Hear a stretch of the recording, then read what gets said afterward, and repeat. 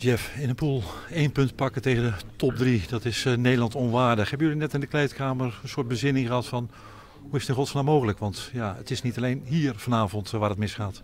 Nee, zeker weten. Natuurlijk beseffen we dat ook. En uh, ja, weten we ook dat het niet acceptabel is in principe. Ja, het gebeurt toch en ja, het is vrij lastig te bevatten nog steeds. Is het een mentale kwestie? Is het voetbaltechnisch?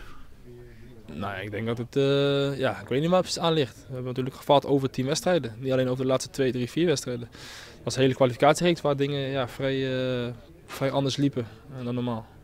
Ja, ik vraag naar dat mentaal, omdat ik met name vanavond dacht van de laatste wedstrijd. Het moet gebeuren, drie punten, die, die strohalm. En dan na een aardig begin, tien minuten, toch weer die, dat, dat zenuwachtige gedoe, dat, dat matige voetbal.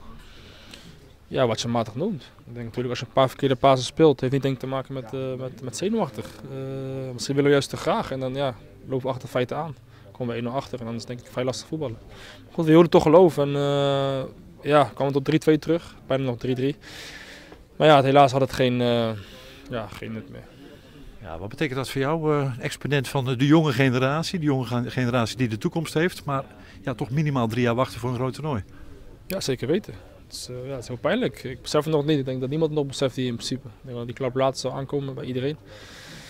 Dus ja, het is uh, ja, lastig. Daar kan ik nog niet van maken. Wat werd er net gezegd toen je afscheid nam in de kleedkamer? Want je gaat nu weer naar de club. Ja, we moeten zeggen, we hebben elkaar succes gewenst. Alleen iedereen weet wel hoe laat het is of hoe het zit. Als je een EK misloopt, dan hoef je het niet nog extra, ja, extra daarover te hebben. Natuurlijk, nu. natuurlijk worden de komende weken worden er zat, uh, ja, soort dingen besproken. En wat er misgegaan is. Alleen dan moet natuurlijk heel snel weer vooruit. Danny Blind nog iets gezegd? Uh, ja, maar dat is natuurlijk binnen de groep. Tot in uh, november of uh, ja, tot ziens? Nou, succes. Succes bij PSV voorlopig maar. Ja, dank je. Dank je.